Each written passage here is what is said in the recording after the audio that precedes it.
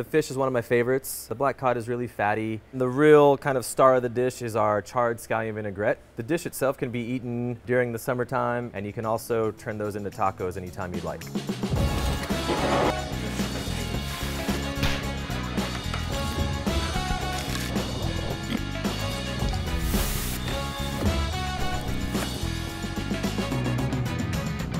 Hey everyone, I'm Rick Lopez from La Condesa here in Austin, Texas. Today we're going to cook a little achiote marinated black cod with avocado puree and a charred scallion vinaigrette. So what we got here is a black cod. The head has been removed for us, scaled and gutted, and I'm just going to take this bad boy down and start going for it. I'm a righty, so I'm using my right hand to just guide the knife through. It's super sharp. As we go down, you'll feel a little bit of those bones on your knife and it'll start to get a little bit bumpy. That's okay, that's what you're looking for. Once I get to this point, I go all the way through. And I go right there and I leave this little tail part open if you can see that.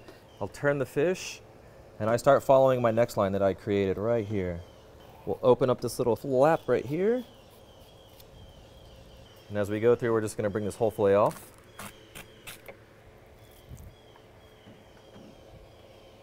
And then this we'll reserve for later.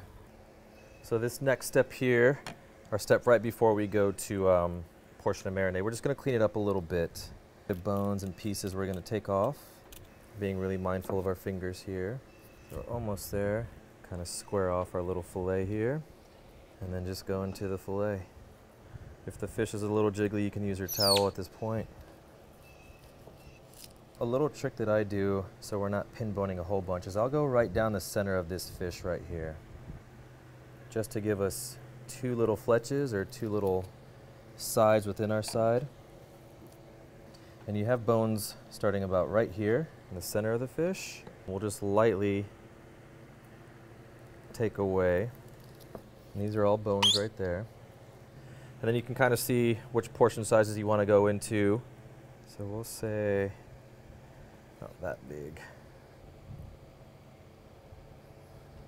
These can be little extra tacos later on. We got our fish portion, taking care of that. Now we're gonna build this marinade. First part, achiote in. Just kind of like break it up a little bit with your whisk. It's gonna get a little nuts in there. You can use your hands and that's perfectly normal, that's perfectly fine. Little bit of oil, not to go crazy. And then as the oil and the paste start to get together, it's gonna like come together, get all pasty and stuff. It still looks a little bit chunky. When we throw it on the fish, it's gonna kind of like relax a little bit. And then once we go to let it hang out, everything will seep into the fish. We'll have a beautiful color. And then we can go right onto our fish.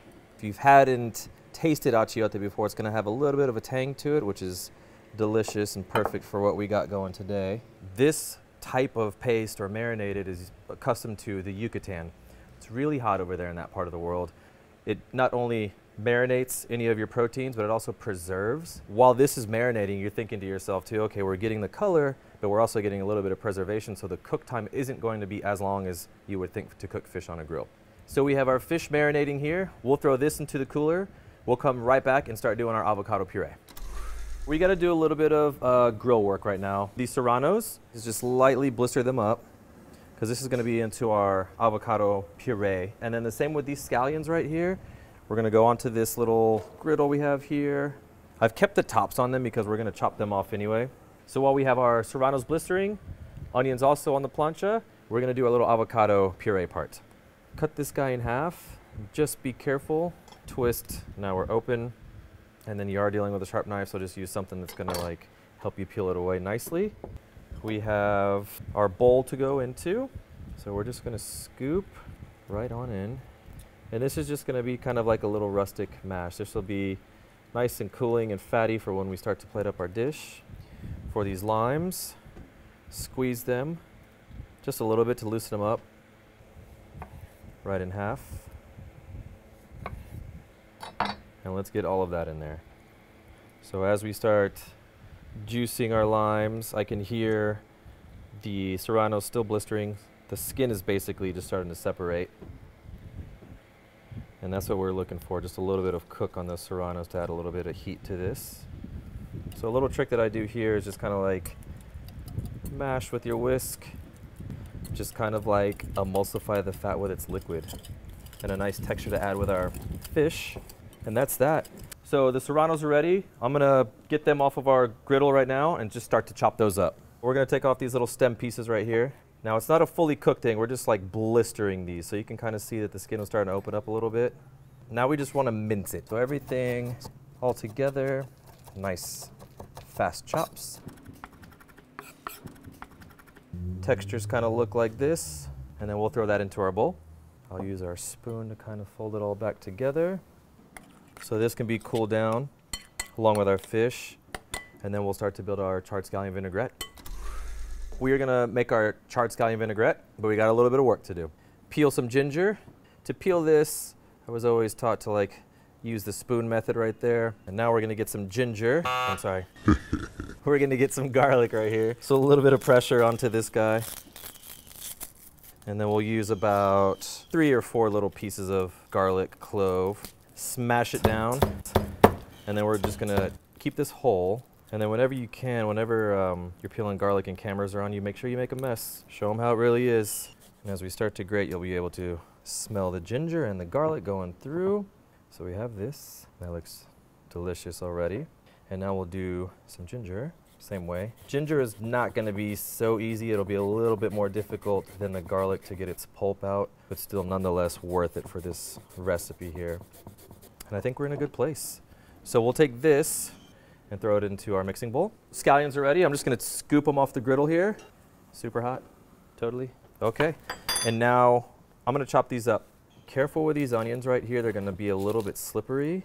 And this is where we can do our mincing work right here. Just a little bit of a chop, keep one hand free.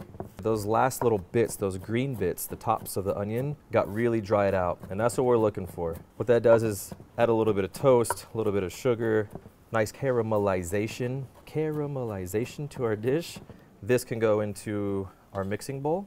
And then we have our soy sauce, sesame oil. And if you've had sesame oil, you know it's really strong. So it's got toasty, but it's also delicious. So this is our yuzu. It looks like a, a lot of yuzu, but that's what we're looking for right here. Pinch of salt. Texture-wise, super happy about this. At this point, we will let this uh, sit in the cooler in our fridge, get the fish ready so we can start to griddle that up too. So right before we get into grilling our fish, start plating up, this is gonna be a little bit of cooling garnish right here. So we're gonna have some radish. So we're gonna cut these into little circles and then some little matchsticks. And then we'll throw these into some cold water.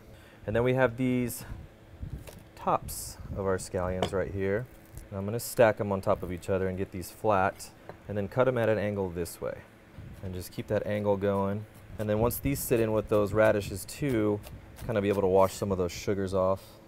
So really with this garnish, you just want it to set for about two or three minutes into your cooler or this ice bowl on the counter. Any longer, you're gonna kind of like get a little too soggy. But right before you're going to cook fish, get this going, then you're ready to rock. We're ready to grill. Fish has been marinating. We're gonna hit this with a little bit of oil, not so much, just a little drizzle. And then we're gonna season our fish now with a little bit of salt and pepper right on top. Then we go onto that little oil space again. All right, we're gonna let this hang out. We're gonna let it build a little bit of a crust. Try not to bug the fish too much, letting the heat do its thing. We found out that when you cook with this carbon steel in our kitchens, right here, it's gonna hold a lot of heat for us. So what that means is things can get cooked faster. Once you throw it on the flame, it's gonna build a heat and hold it for a little bit longer. This one's actually pretty cool because it's, well, cool to look at, but then also when it's holding this heat right here, it's pretty constant. So the same way it feels around this corner will be the same way that it feels in that corner as well. I brought some extra tortillas for us so we can maybe make some summer tacos and see how that goes. So if you wanted to add like a little bit of a super cool factor to whatever summer party you're gonna be throwing, throw some tortillas in the mix. They could be corn, they could be flour. When we're looking for a crust right here, I'm gonna kind of get this spatula in and see what the fish has been doing. And I see a little bit of action going on. This part, that little ramp of the spatula right there, we're gonna try to scrape all these bits up that we've been creating and keep it all intact. It's gonna be a little tacky, but that's okay. We have some fun stuff on there, so we're gonna keep that. And it looks pretty gnarly at this point. I mean, it looks delicious. We built some of that crust right there. All those little burnt bits or like the cool parts that have caramelized, that's gonna be really delicious. So we're gonna let this go for about a, another minute or so. I've dipped some of our tortilla into the grease, which is like chef's kiss. Once we get uh, everything going, we can go to plate. We have this avocado puree that we did here with some blistered serranos. Now remember, this is like the, the spicy surprise of the dish right here too. And then our fish that was marinated in achiote. We have our charred scallion vinaigrette. Play here, we have our crispy bits, which is the scallion, the radish. Right on. So we did it. We grilled, we chilled, we conquered.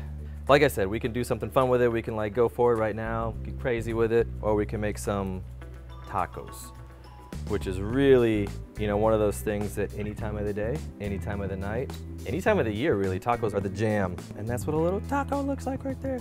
All right, we ready? Pinky up. It's good, it's delicious. All right, it worked. Fish is very fatty, so it'll flake apart perfectly. The achiote paste is like doing its part. It's got like that little twang here on the cheeks. The blistered serranos and the avocado, it's gonna like tingle on the tongue a little bit. That's what we're looking for. I'm Rick Lopez, chef here at La Condesa in Austin, Texas. Thanks for grilling with me. I hope I motivated you to do something nice at your space. I look forward to seeing you guys around. Cheers.